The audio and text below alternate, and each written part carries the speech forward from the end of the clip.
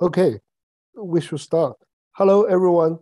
Uh, my name is Chen-Yang Xu from University of Princeton. And uh, today I'm the moderator of the ICM sectional talk given by Professor Francis Bach. Uh, Francis Bach uh, got his PhD at the Computer Science Department of uh, University of Berkeley. And now he's uh, working at uh, École Normale. He has made important contributions to statistical ma machine learning and today he will tell us about uh, gradient descent on infinitely wide neural networks. So please start, Professor Bach.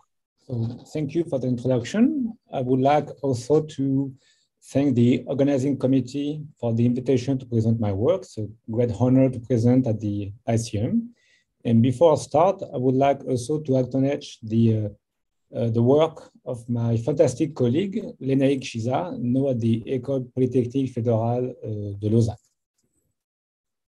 So today I'm going to talk about uh, machine learning. Let me give me let me give some uh, context. I think in the last 20 or 30 years, there's been a growing uh, need for uh, the automatic processing of, of data.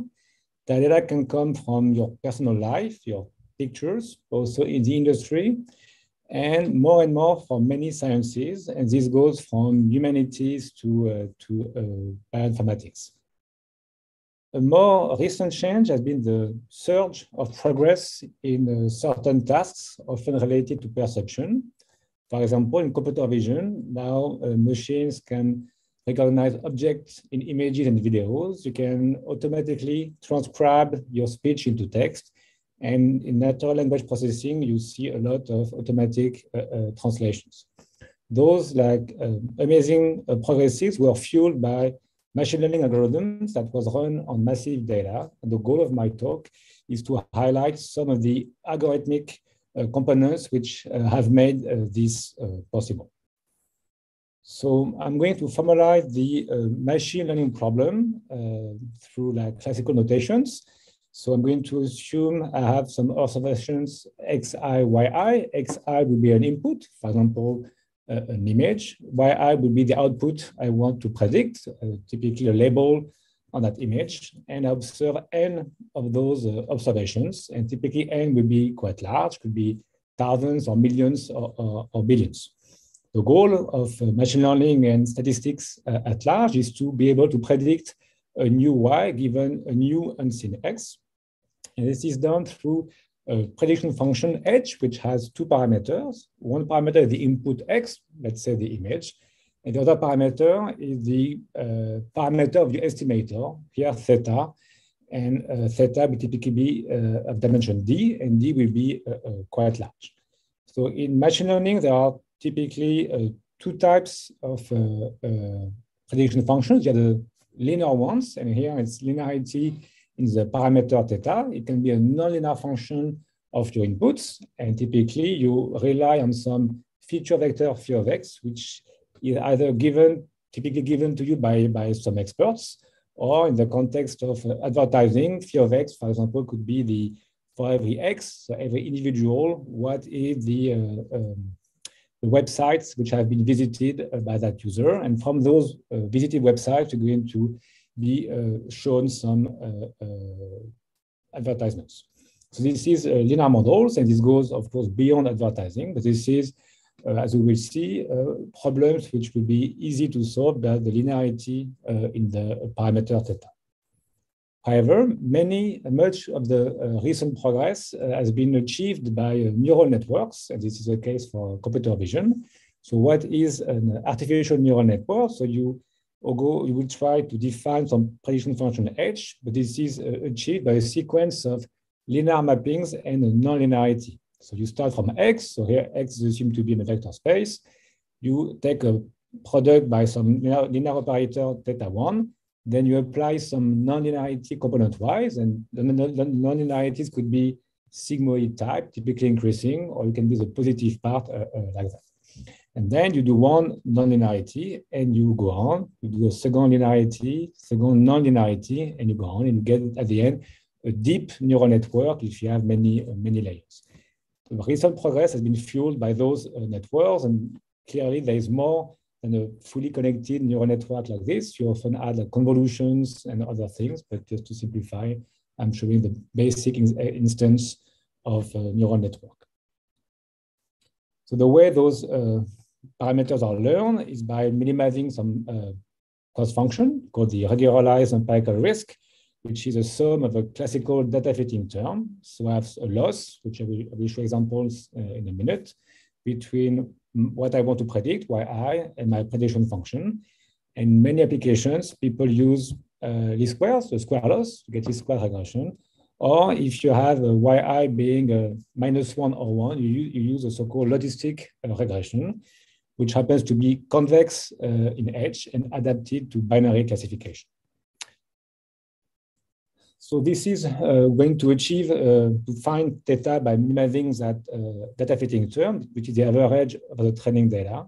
But you have to keep in mind that what counts is what happens on unseen data. So this is the expectation over data coming from the same source uh, uh, of the same loss between y and the prediction function.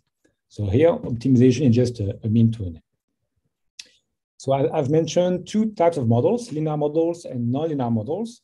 So first, let me review quickly linear models because this is a, a, place where things are reasonably uh, uh, well understood. So we're going to assume some convex loss functions, and this is what I consider a weak assumption because this is typically what people use in practice. But this, if you want to get a convex problem, you need, or it is sufficient to have h being a linear function in theta. So this only applies to linear models. And the consequence of that uh, convexity of the, of the objective function is that many algorithms exist, often based on the, on the gradient, and for which you have quantitative runtime and prediction performance guarantees. Give me your problem, your data. I can tell you, based on simple statistics on the data, how long the algorithm will take and how well it should predict on unseen data.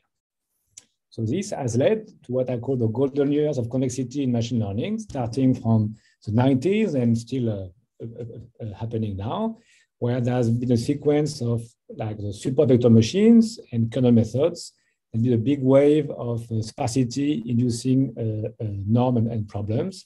And in the last two years, quite a, lot of work on stochastic method for large scale learning.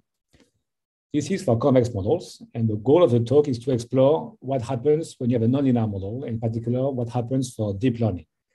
This is more difficult, and as we will see. So let's look at the uh, deep learning uh, uh, uh, architecture. So again, this is a neural network starting from input X to output Y by a sequence of linear mapping and nonlinearity.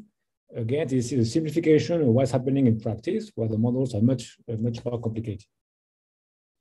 So there are two main difficulties associated with uh, those models. The first one is the fact that we get a non-convex optimization problem because this function is parameterized non-linearly. So it's linear in the last, in the last layer, theta r, but it's non-linear in theta 1. So this will, as, a, as we will see, this will create like potential problems.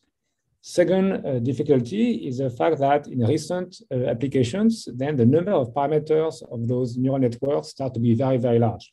Okay, so this is this could be a problem from the statistical perspective to have so many parameters to fit. It turns out that this over parameterization will be a blessing uh, for optimization. And I will show in the second part of the talk that this is not because you are over parameterized that you cannot uh, generalize to unseen data. But let's start first with the uh, optimization issues. So what can go wrong with non-convex optimization problems? Many things. So the big, the biggest issue is the fact that in a convex optimization problem, there's typically unique local minimum, essentially unique local minimum, and which can be characterized by uh, just like a, a local local uh, information. Essentially, essentially, all stationary points are are minimum. This is not the case when you go non-convex. So here I get a simple function in two dimensions where uh, uh, uh, you see four local minimum, one, two, three, four. This one is a global minimum. But you also have other stationary points. You have a local maximum and you have a saddle points over there. The issue here is that when you run gradient descent algorithm, depending on where you start, you're going to end up typically in one of those four local minima. Okay, or sometimes in particular in high dimensions, you may get stuck in a, in a saddle. So what can we say in terms of mathematical guarantees? So the first uh, line of work has been to try to make sure that you avoid the locally incorrect uh, uh, uh, stationary points. So you want to avoid local maximum, so any amount of noise will make you go down, but you also want to avoid those stationary points. And here, adding noise has been shown to uh, uh, escape those Uh, stationary points, which are not non-local minima. There's a, several work showing that you can get this with guarantees. But these are only local. Why, why can't you go global? The, you cannot go global in general because a class of even like Lipschitz continuous functions is too, is too large and includes functions like this, which are flat everywhere, except in a small region. And if you have a gradient-based algorithm, it will only find the global optimum if you're lucky enough to reach uh, that region. And uh, that region, as a it's, okay, it's large in one dimension, but in high dimension, the volume will shrink exponentially in dimension. And you can show that global optimization will always be exponential uh, in dimension. But this, of course, this is for the class of all objective functions, which are non-convex. Let's try to see what can be said for a, a neural network, which is a subject of interest of the community and of this particular talk.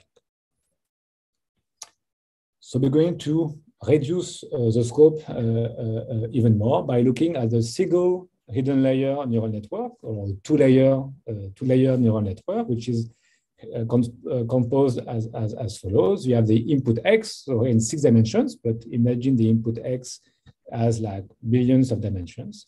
Then you have the uh, set of input weights, theta one, which is a matrix, okay, of size, number of inputs, number of hidden neurons, and this is a matrix theta one. You get those hidden uh, neurons after taking the nonlinearity. This is what you see here. For every j, every neuron, you multiply x, take the dot product with uh, that vector, take the nonlinearity, and then combine those once linearly, and those are the output weights. Okay. So this is a prediction function, and our goal will be to minimize uh, always the risk. And I'm going to assume the risk is convex uh, uh, in H. It's not convex in the parameters of H, not convex in theta, but it's convex in H, which is uh, typically the case in most uh, uh, applications. So why are we reducing ourselves to this one hidden layer for a very particular reason? Is to, to obtain family of prediction functions which are sums of terms which have uh, uh, their own parameters. There is no sharing of parameters. So in other words, H is a sum over all J going from one to M and J goes over hidden neurons of a function of X which uh, has its own parameters. So the input weight parameter, theta one, okay, and the output weight. And at the end, I'm summing all of those uh, uh, functions to obtain my H. So formally, okay, if I design, if I call Wj the concatenation of theta 2 of j and theta 1 of j, so vector of size j plus 1, then I have a family which is the average of, of, some, uh, of some terms like that. And what will be key in our development is the fact that we have an average of function with no parameter sharing. This is not this is true for one hidden layer, but if you have if you have one more layer, so say one more layer there, then it is not true that uh, the uh, output neurons before uh, you do the final uh, layer, they will. It's not true that they have, they have no shared parameters. They do share parameters. And in fact, this is one of the reasons why people like to use neural networks with deeper, with more layers, because there is parameter sharing. However, for our analysis, you need to have a wider layer and still reasonably open to uh, extend our results to deeper networks. So let's go. How, how are we going to use uh, this like independent parameterization of all of those units? by simply using a classical insight in uh, statistics and signal processing, which is of seeing this as the integral of the function c through some uh, probability measure d mu if I take d mu, the empirical distribution over my uh, parameters, my particles, so my parameters of each neuron wj, we get an inequality. And the, the, the hope is that when we go over parameterize, so when m goes to infinity, that we're going to approach the behavior uh, of uh, probability distribution with a measure with respect uh, to the Lebesgue measure, with a density with respect to the Lebesgue measure. So this is often called the mean field limit uh, uh, in physics. And the, the, hope is that when m is large, you behave as, as, uh, way, as in the same way as, as with a, a density. So this insight uh, is uh, quite uh, classical. It dates back from Barron in the 90s and has been used like by, by many people. And essentially, uh, it is a way of uh, linearizing the set of uh, parameters because now in the parameters d mu, this is a linear function. So now I have a convex function of some linearly parameterized problem. I should be able to do something. But the key here is that there is a very non-convex constraint that uh, mu has to be a, a, a, finite sum of Diracs. So let's see uh, what we can do. And then we've described the joint work with uh, uh, Lénaïc uh, Chizat from a few years ago. And our goal is to so minimize a function of that probability measure of the set of neurons, that we often call them particles. And this, uh, we don't take any form of uh, function f, but is a convex function of the integral of a common function. Okay, so the structure is important. You need to have convexity here and the integral of a fixed function c, and I will put extra assumptions on phi uh, in a moment. So this is a measure, this is a formulation in terms of measures, but the way we're going to minimize it is as done in practice, we're going to have a finite set of particles, like m hidden neurons. We form R of the average, and we're going to do gradient descent of those parameters. So this is often called a back propagation. And to make the analysis feasible, I'm going to take the limit of a gradient descent when the step size goes to zero, which is uh, often, which is called the gradient flow. So the M here is just for matters of normalization. I'm going to, to study this ordinary differential equation where all weight uh, move uh, simultaneously following the gradient of A with respect to uh, all parameters. So this is, as I mentioned, the limit of gradient descent when the step size goes to zero but this is also a, a limit of the stochastic version of gradient descent, which is looking at data points one by one, uh, also when the step size goes to zero. So we are moving one step away from the actual algorithm as a way to get, uh, to get a proof uh, going. So the first question is, when m goes to infinity, okay, do, do I convert to a, a particular uh, dynamics on the set of measures? Okay, so the, the answer is yes, and, uh, and, and, it turns out that this limit is exactly a Wasserstein gradient flow, and this has been uh, noticed by uh, several researchers. The idea that in the space of measures, you can define some metric, a metric will define some gradient flow, and it turns out that the metric that corresponds to that algorithm is not the Euclidean metric, it's a Wasserstein metric. So if you know what the Wasserstein measure is, Wasserstein distance is, then uh, uh, this will speak to you. Otherwise, just trust me, there is a limiting object. And the limiting object will be a, a partial differential equation I will show in a moment on the measure. And we will study this partial differential equation that we, that we obtain. So how do we obtain this partial differential equation? Just by taking this and take, taking gradient with respect to W, okay, we need the gradient of that whole function. And you should expect that if you take gradient with respect to W you, you need you need the, gra the gradient of R and the gradient of C, and using like the composition of, of, of differentials. And you see exactly what uh, this uh, uh, uh, formula is. What you end up with for the gradient flow for neural nets is that all particles will evolve according to uh, the gradient, uh, to some gradient of some like a mean potential. But that mean potential will depend on your current value and also on the aggregate value of all other neurons which are uh, already present. Okay, so this is the mu is the current this current empirical measure of all neurons. So when mu is not moving, you get independently moving neurons. But when they move, mu is moving, and you get at the end uh, uh, coupled ODEs. This is what makes the problem uh, uh, interesting. And uh, what you can show is that um, it's classical, it's called a transport equation, that if the number m of particles go to infinity, then you will define a, a, measure with density mu t, and mu t will evolve according to a PDE, the, the time derivative of mu with some divergence of mu times the, the mean potential. So this is the PDE we would like to converge to. And what we showed uh, with uh, Chizat is that with extra assumptions, which I will not uh, detail, I just want to show that you need assumptions, okay, on of differentiability of the map R and C. And if you initialize in a compact set, then the, uh, if your initial measure uh, is uh, uh limiting, uh, if your initial measure is the limit of a set of uh, empirical measures, then mu t will, when you move those particles one by one, will also converge to some measure, which is the solution of the PD. It's just like showing formally that uh, there's a limit when m goes to infinity. This happens to be a gradient flow, and this is uh, the equation.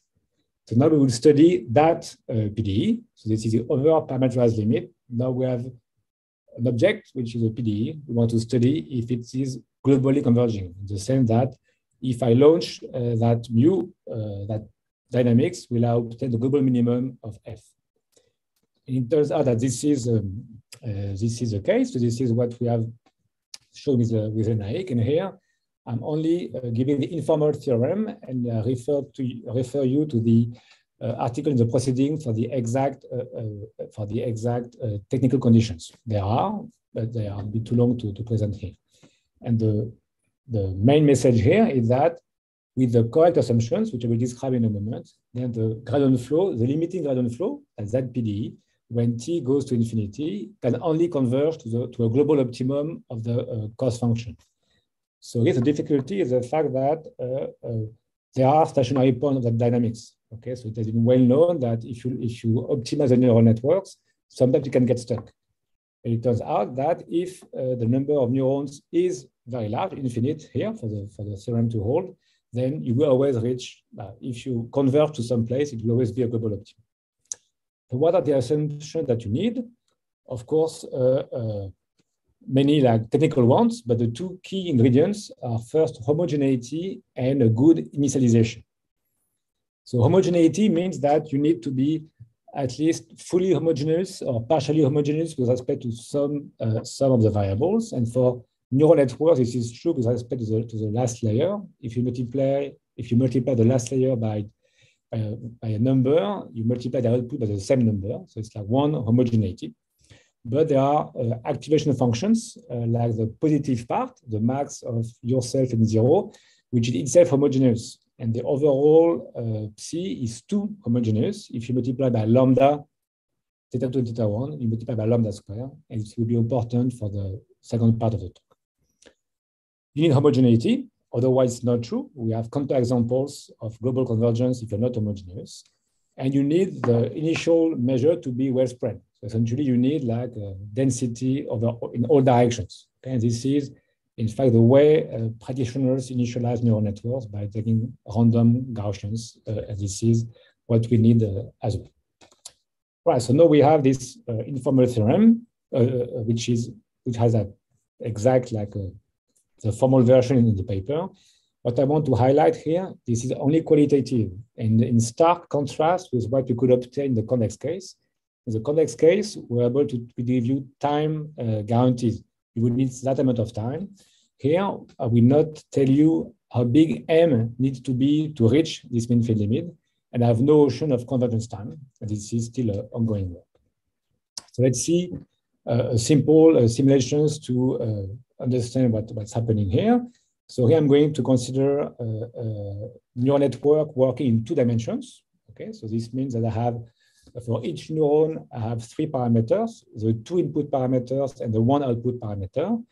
But because I'm using this positive part here, I'm going to represent one neuron by the product of the uh, vector in 2D here times the weight, uh, the weight uh, of theta 2. This gives me a way to represent neuron in the 2D plane. So in all of those plots, you see like representations of, of neurons. So the WJs are represented in, in, in, in 2D. For to run those simulations, we, we have like uh, generated data from the neural net with five neurons. Okay, so we know that with five neurons, when we when we estimate parameters, we have enough to get perfect predictions. The idea is to check whether uh, how many neurons you need to put in your model to reach that good performance. We're going to reach the good performance when the, when the neurons that you see here are moving and end up in the five dashed lines, which are the uh, optimal positions. So on the left, if we use exactly the number of neurons necessary, which are sufficient to do perfect predictions, then some neurons are well estimated and some are not. And this is a classical uh, uh, local minimum issue that, we, that has been well known in the training neural networks. However, if you take a lot, uh, a lot of neurons, and this is what our result is suggesting, M is very large, then all neurons end up being the, the correct places. And the open problem is trying to understand what's happening at the intermediate level where M is not very large, but still quite large. And we see that there's typically some transition phase where when M gets large enough with overwhelming, overwhelming probability, then uh, you're going to get the global optimum. This is still like not, not fully understood. So small video, as you can see, you start all like neurons in all uh, in all uh, uh, in all like directions here, and then they start to to move along and strike by following a weird path and up at the correct places. I'm highlighting this. This is not like going in a straight line. The neurons move in very uh, particular direction, very specific directions, and end up having a global convergence. So just to highlight the, uh, uh, the result. So this is uh, for neural nets, but this applies to all problems for which you want to minimize problems uh, of, of that form, or when you, when you, oh, can I go back? Uh, when you minimize problem, uh, uh, when you minimize problem, manage to do it, of that form, when you have a, a loss over some integrals. So this includes uh, sparse deconvolution. This, this includes also other problems.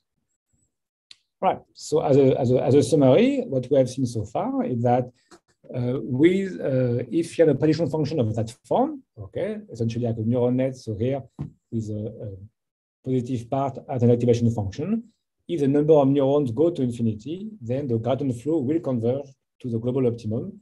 If you initialize things uh, correctly, again, there's no uh, quantitative results. All right, so now in, in practice, uh, there are two ways to do like optimization. Either you do at every data point, you do uh, uh, you, you update uh, the, the parameters, and this is known to avoid overfitting because you do a single pass over the data. And in fact, it tends to underfit a bit. But what uh, people do in practice is uh, doing multiple passes over the data. Okay, so you see every point once, then twice and several times. And then it's known that uh, uh you should convert the optimal predictor on the training distribution. There is potentially an issue in how it generalizes on, uh, to unseen data, in particular when you have a, lot of parameters. So this is over parameterization was a blessing for optimization. It could be an issue uh, for, uh, uh, for uh, testing performance. And the goal of the last part of the talk is to highlight that this can be also studied. So we now need to study what people call the interpolation regime. This is all those situations where you have sufficiently many parameters to perfectly fit the data.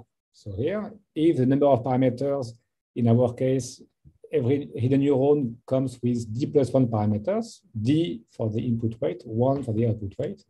And m, when m is sufficient, sufficiently large, you can typically find uh, uh, h which, which has a perfect fit. Okay, so perfect fit on the training data says uh, nothing uh, on the uh, on the testing data. Okay, but here there's something very specific about uh, the, the, problem is that we are obtaining H not randomly by exhaustive search, but by the output of gradient descent.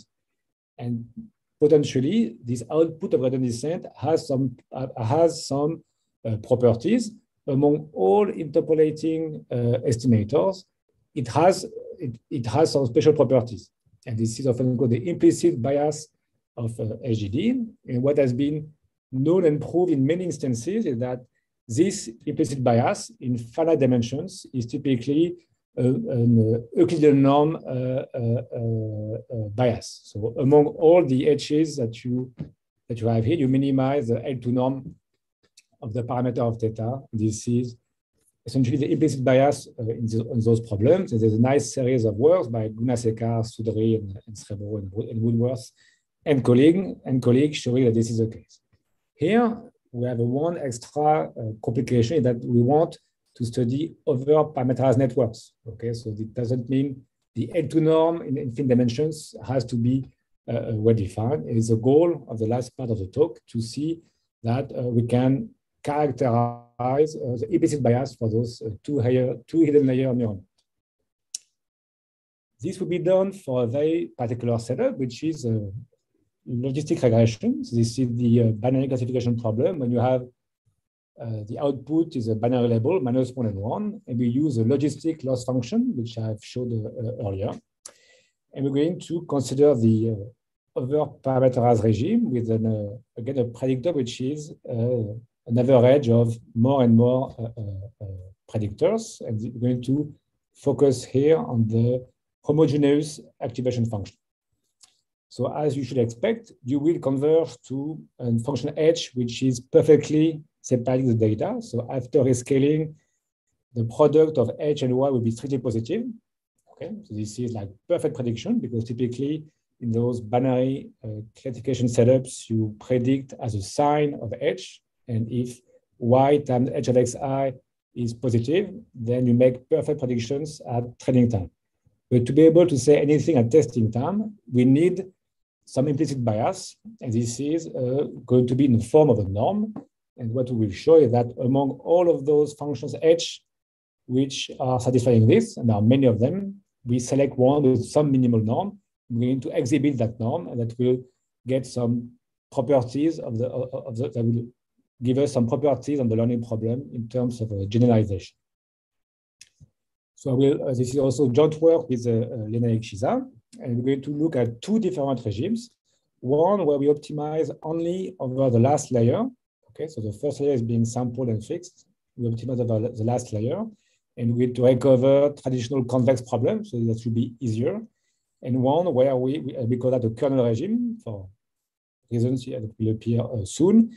And we can also uh, optimize the two layers, and this is what the, to me the interesting regime when we can learn learn some uh, uh, features. So the theta one, the direction will be adapted to the problem. So for that, we're going to define two norms, which are very much related. And since we're going to look at the over parameterized regime, we're going to consider prediction functions, which are like weighted, uh, which are like uh, the uh, weighted sum of infinity many neurons. So eta, you get tau is a uniform measure on the sphere. And I'm going to take uh, uh, input neurons everywhere on the sphere, and they will be uh, with a given weight. And the weight will be in, in with a value of A of eta. If A of eta, ditto of eta is a Dirac, I get one, one neuron, but in general, this is not the case. So uh, we can define two norms, one based on the L2 norm, the squared L2 norm of that function A, and one based on the L1 norm the squared L2 norm, then we obtain a reproducing kernel Hilbert space for which we can define the kernel very precisely. We can look at the paper in the proceedings to see uh, to see the specific formula. And as any uh, reproducing kernel Hilbert space, you essentially get in the RD uh, Sobolev space with an index, the number of derivatives, which is at least d over 2, d being the underlying dimensions. So this means that whenever I'm going to look at the kernel regime, then I'm going to have smooth functions. However, when I'm going to, to consider the L1 norm, so I'm removing the uh, removing the one uh, here, uh, I still have this average, this continuum average of neurons, but I like the L1 norm. And with the L1 norm, I can achieve uh, uh, measures A times tau, which are singular. Okay, so this means that I have a much bigger space that can include single neurons. Okay, so that said, if you want a finite norm, you're not allowing single neurons because single neurons are not smooth. Whereas here you can uh, get, uh, you allow single neurons. It's a much, uh, it's a much bigger space. And this norm is often called the variation norm, and has been studied by several, uh, by the line of work in signal processing and statistics uh, studying this. So let's look first at the kernel regime. I have prediction function like this. I'm only optimizing about the output weights and what uh, uh, we showed. And again, this is just the informal theorem uh, to make things simple that when m goes to infinity, so we know that the gradient flow should converge to the global optimum from what we have seen earlier on. But which one? It turns out this is the one with minimum uh, kernel norm. So among all the functions that that is separating the data, I would consider smooth ones. So here, because I have a convex problem, I can get a quantitative analysis, which is uh, which is uh, possible here. A small note uh, for the experts is that so here it's not useful in practice to let m go to infinity because as soon as m is larger the number that the number of observations you can use a so-called kernel trick to uh, do learning with the with the kernel and not learning with the random feature uh, expansion. And again, for the experts here, this is uh, uh, this uh, setup when m goes to infinity is often related to the so-called double descent phenomenon, the very nice paper by Andrea Montanari and colleagues uh, uh, about that. Now let's look at the feature learning regime. So this is where both theta 2 and theta 1 can be optimized. And this is what people do in practice. They do gradient descent on all parameters. And what uh, we were able to show is that the, the norm, which is implicitly minimized by, by the output of gradient descent, is the so-called variation norm, which is a L1 norm over the, uh, the weight of the continuum of neurons. So here, uh, I, this is you're going to learn typically a, a singular measure. So you get only a finite number of uh, active neurons, and those neurons are adapted to your problem. So this is what we call that we have learned uh, features on the data. Before, when theta 1 was just selected randomly, it was random and never moved. So you were never really adapted to your data. So here, things are moving really to adapt to your data. And if your prediction function happens to depend only on the linear subspace of your data, for example, if it depends only on a few variables, as I will show in a moment, then you get uh, uh, adaptivity to it. So the algorithm will find it if you learn theta 1 and will not find it if you don't learn theta, theta. As on the side, uh, this problem, although we have a norm, okay, we don't know any uh, polynomial time algorithm to solve it. So here, again, we have a qualitative result showing that if m goes to infinity, things are fine, but I'm not able to tell you how big m uh, needs to be. So let me uh, compare the, the two. Uh, let me look at the uh, optimization over the the for the variation norm. So we showed two plots: the plot of parameters, the output weights. Okay, they will live in a, in a 3D because I'm going to consider data in, in 2D, but I'm going to consider uh, a linear term plus a constant term, often called a bias, a bias term. So now my neurons live in a 3D. They were living in 2D uh, the last video. Now they live in a, in a, in a 3D. On the right, I'm going to plot the space of predictors. So in 2D, I have data in 2D. I'm going to see the separator between those two, uh, the two classes. So let's we start uh, we start with uh, data uniformly uh, neurons uniformly on the sphere. The prediction function between the plus and minus is not is not very good. And as I will move along, the neuron will move will start to go in specific directions and the uh, prediction function will start to be better and better. And at the end, we, you will see that a finite number of neurons uh, because we have a piecewise affine bundles. So let's look at this. So the neurons move, okay, they, are, they start, they tend to coalesce and converge into the measure of neurons tend to converge to the Diracs, and you obtain at the end a good, good separator uh, here. And you see the lines there.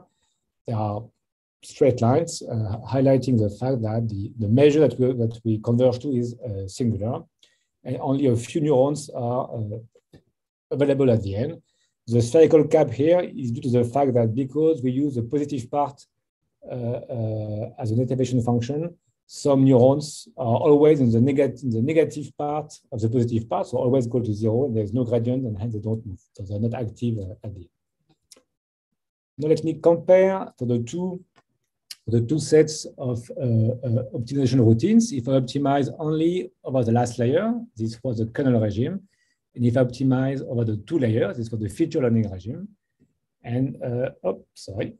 And now you see on the left, uh, this is if you train only the output layer, you get to get a smooth boundaries, whereas on the right, we get a, a non-smooth boundaries. And this highlights the fact that the optimization algorithm okay, is, will dictate the implicit bias. The two are perfect predictions on the training data, but because when we change the way we uh, do the algorithm, so only output layer and here the two layers to get the different implicit bias, and this is uh, that one will generalize better for reasons I will explain in a moment.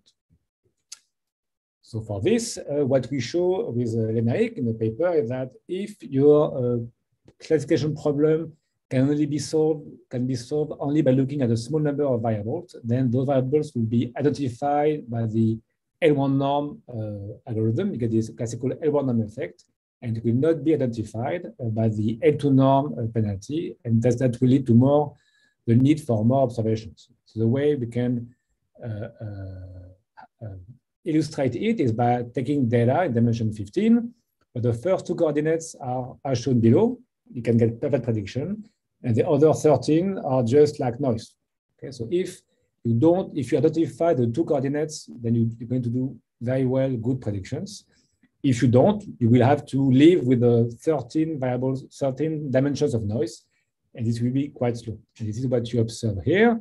In blue, the L1 norm uh, as the, the, test error as a function of number of observations. So both go to zero, both go down. So you learn as you, learn better, you perform better as you get more observations. But you, uh, the L1 norm penalty will tend to converge much quicker because it identifies quickly uh, the correct directions, whereas the output layer, output layer does not. This is one key advantage of neural networks. They do feature learning. They're going to adapt the data more than uh, common methods. And this is just an illustration uh, here. So uh, to summarize, I've proposed like uh, a qualitative analysis of gradient descent for two-layer neural nets. And the take-home message is the, uh, the benefits of over-parametrization. If you have infinite neurons, then you can get global convergence. And this, uh, in terms of prediction performance, we could still analyze what's happening and provide, uh, provide some, uh, at least, clear definition of what to converge to, what norm you are implicitly minimizing when you minimize, when you estimate those models for gradient descent. Again, this is only qualitative. Uh, uh, so in terms of open problems, clearly quantifying the dependence in M number of neurons and T time, this is still an open problem. Try to go beyond this uh, extension to uh, uh, beyond the fully uh, connected neural networks, trying to go to convolution nets, which is used a lot in computer vision. And also, of course, try to go uh, beyond more beyond like a single layer. So the final conclusion is the first part of the talk introduction. There was the convex world, but everything was with quantitative guarantees. And now we have the non-convex world. We have only qualitative guarantees, and the hope will be to, of course, bridge uh, those two. So as I've mentioned, at open problems, you have quantitative guarantees for deep models, but you also have a lot of other problems where uh, you want to deal with optimization, okay, in particular if you have multiple, multiple computers. And what I want to finish on is that to analyze those like deep models, I think we need different tools than we are typically used to uh, in optimization statistics, okay, based on like probability, martingale, and, uh, and inequalities. And in this talk, uh, I've shown like partial differential equations and Wasserstein gradient flows as a key uh, component, but more and more we need uh, elements for um, different mathematical uh, domains, in particular PDEs, and now more and more from control theory. Thank you for your attention.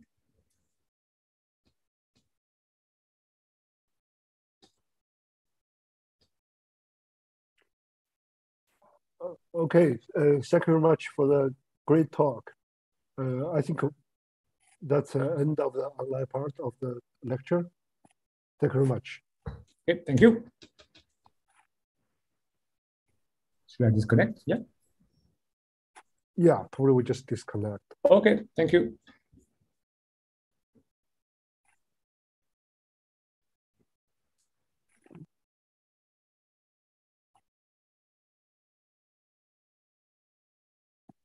Hello, shall, shall we just leave?